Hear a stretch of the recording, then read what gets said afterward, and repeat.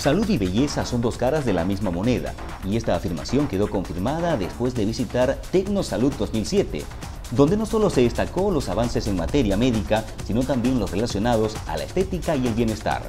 Uno de los equipos más avanzados presentados fueron los analizadores de composición corporal InBody de BioSpace, que realiza el estudio del cuerpo a través de la impedancia bioeléctrica. Eh, se basa en la bioimpedancia del cuerpo y las distintas frecuencias que van generando distintos tipos de respuesta en cada uno de los tejidos corporales, ya sea músculo, grasa, agua, eh, mineral óseo, y esto me significa que voy a poder dar cuantitativamente y cualitativamente las distintas cantidades y proporciones en el cuerpo. Y esto me sirve para poder diagnosticar obesidad, eh, edema, fibrosis, esclerosis de todo tipo de tejido. Sin tomar en cuenta de que esto además me proporciona un, reporte, el cual me va a significar una ayuda de retroalimentación y de evaluación y diagnóstico para distintos tratamientos. Es muy importante el poder determinar la diferencia entre el agua intracelular y extracelular, porque el incremento de agua extracelular me da un índice de edema. Es muy, muy importante saber el porcentaje de grasa, porque esto me va a dar un resultado de obesidad. Me es muy importante saber la cantidad de músculo que yo tengo, porque eso me va a dar un estado nutricional sarcopénico si el músculo está muy delgado o de buena nutrición si el músculo tiene buena masa corporal.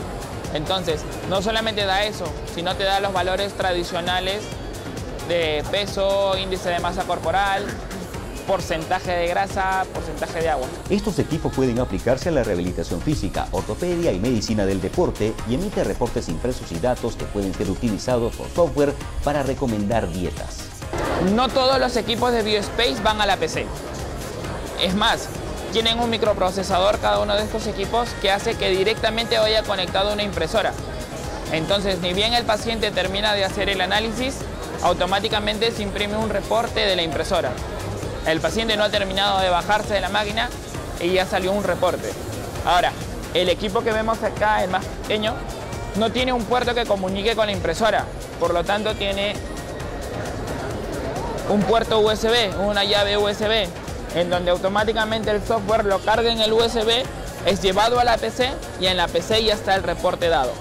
Otra actividad médica y de investigación que se vale de la informática son los microscopios digitales, que utilizan actualmente una conexión USB a la computadora para producir imágenes vívidas y a todo color que se visualizan en la pantalla del monitor. El avance que se está haciendo en microscopía actualmente es de tener este, la muestra, en este caso eh, las muestras que se hacen pues, a través de las placas, pero llevarlas ya en forma digital, ¿no? Casi todos los, microscopios, como son los microscopios de fluorescencia, los microscopios de contraste de fase, los microscopios de campo oscuro, actualmente se están digitalizando, se están conectando bajo una cámara y modernizando la administración de imágenes con un software, ¿no? Como podemos observar, algo tan simple que es para, por ejemplo, institutos, colegios, que lo podemos tener acá en la pantalla, ¿no?